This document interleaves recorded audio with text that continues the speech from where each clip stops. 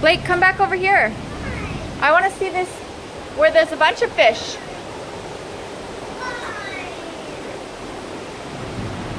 You can kind of see them in there. Yeah. How many are in there? One, two, three, four, five, six, seven, eight, nine, ten. Is that two ten? Look at this right now. Okay, let's go this way, Blake. Blake, look at this cool. What's on here, Bryce? A bunch of salmon. I see some little stones. Do you see the little stones? What do they look like? The stones we have in our garden. Oh, right here?